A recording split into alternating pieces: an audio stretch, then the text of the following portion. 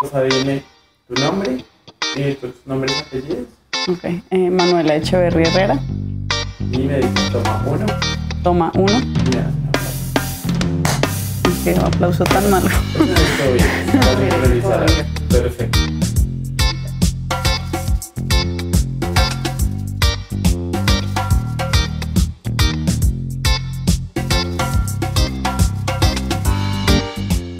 Creo que fue algo de décadas realmente, aunque desde que tengo memoria, 5 o 6 años, ya reconocía que me gustaban las niñas. En ese momento era algo imposible. Sé que no fue hace mucho, pero crecer en Bogotá en los 90, en los 2000, siento que era un mundo completamente diferente donde ser gay no era una opción. Yo no conocía a nadie más abiertamente gay y fue realmente años y años y años de, de entender que sí era una opción.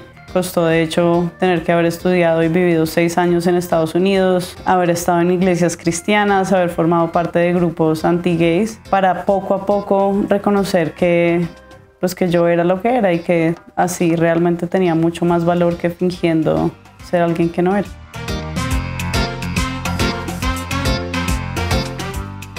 La verdad, mi familia nunca me juzgó, ni pequeña, que creo que tenía bastantes rasgos de digamos, masculinidad, que puede que familias lo vieran como algo negativo. Mi mamá me compraba mocasines y chalequitos en Bay, yo me vestía igual que mi papá, me compraban monstruos y balones de fútbol.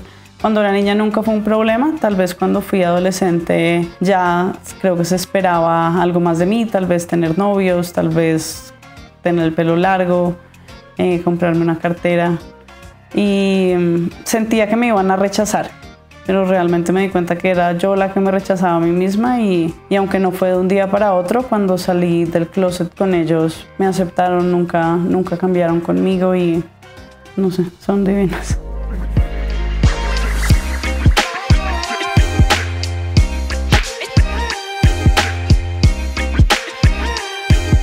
Pues es que yo la conozco desde chiquita, entonces para mí es ella, pero es curioso que Carmen, mi esposa, siempre dice como ella es tal cual lo que uno se imagina, es no finge ser nada más de lo que es, es una persona como completamente auténtica y creo que dentro de todo ayudó tener una persona así en la familia que pues años y años antes ya abrió un poco el camino a, a pues que lo normal no es lo normal, que hay, que hay espacio en la familia para distintos tipos de expresiones, de sexualidad, de profesiones. Pero sí, ella es increíble, o sea, tal cual lo que uno ve, eh, ella es así en persona.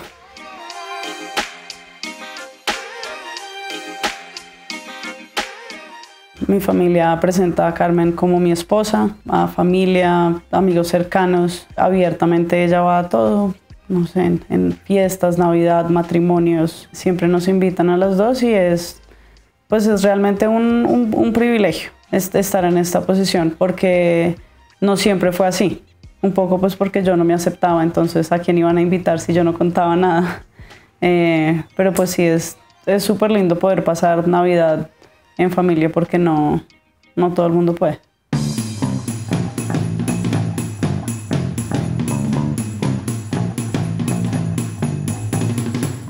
Pues creo que es, es muy importante aceptar que cada persona de la familia puede tener un proceso de aceptación diferente, pero si tal vez tú eres el miembro de la familia que no aceptas a tu hijo, a tu hermano, a tu tío, entender que no lo tienes que aceptar para dañar la dinámica familiar. También dentro de todo, así suena un poco egoísta, creo que es importante que las personas piensen en ellas mismas y si se sienten inseguras y sienten que su, que su integridad va a estar en peligro o emocional o, físicamente, sí creo que a veces es mejor tomar un paso atrás y alejarse de la familia un poquito mientras ellos mismos elaboran su proceso, porque no, no todas las familias lo toman de la misma forma.